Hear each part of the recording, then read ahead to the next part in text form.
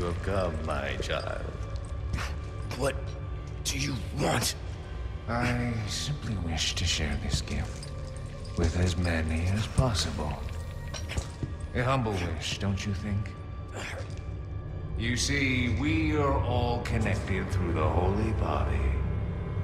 And now your flesh and bones, your very thoughts,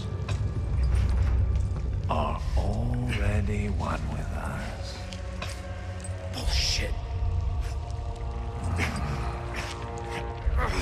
You reject serenity when you need only accept the sacred gift?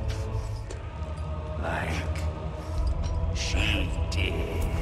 Saddler!